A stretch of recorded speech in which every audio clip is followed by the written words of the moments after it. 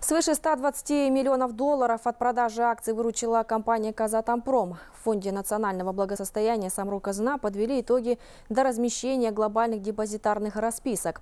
Оно состоялось на лондонской фондовой бирже и бирже Международного финансового центра «Астана». Всего было размещено около 4% акций компании. Две трети из них приобрели международные инвесторы. Агентство Bloomberg оценило размещение расписок как успешное. Напомню, в ноябре прошлого года в рамках IPO уже были размещены 15% акций Казатомпрома. Помимо этой нацкомпании к выходу на международные биржи готовятся Эйр Астана, Казмунайгаз, Казахстан Тимржолы и Казахтелеком.